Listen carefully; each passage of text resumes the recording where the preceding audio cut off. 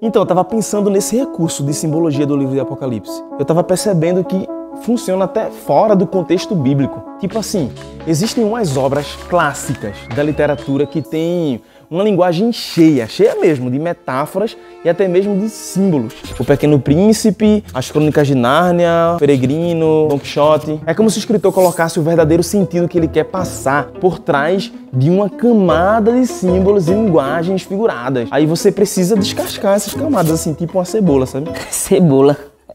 Quem é que gosta de cebola? E aí, quando eu vejo o livro de Apocalipse no contexto mais amplo, vejo que grande parte das pessoas enxergam como um enigma. Pensa só, você tenta lembrar de algum filme bom, colorido, lindo, com o título Apocalipse. Não tem, é sempre levado pro lado do Uau, mal. do terror, né? Mas o livro não é um enigma. Se você conhece as chaves que decodificam a sua mensagem. Quais chaves são essas? Se liga. São pelo menos umas três chaves para entender esse livro. Primeiro, o próprio livro.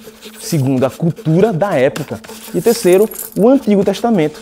O que eu curto do capítulo 12 do livro é a forma como o apóstolo João cria uma cena de guerra e perseguição. Mas assim, imagina como se fosse um filme. Ele mostra os personagens, o período de tempo, ele mostra também o desfecho da história. Nos dois primeiros versos, a gente já conhece os perseguidos, que seriam a mulher, no caso, né, o símbolo da igreja, e seus descendentes, ou seja, o povo de Deus.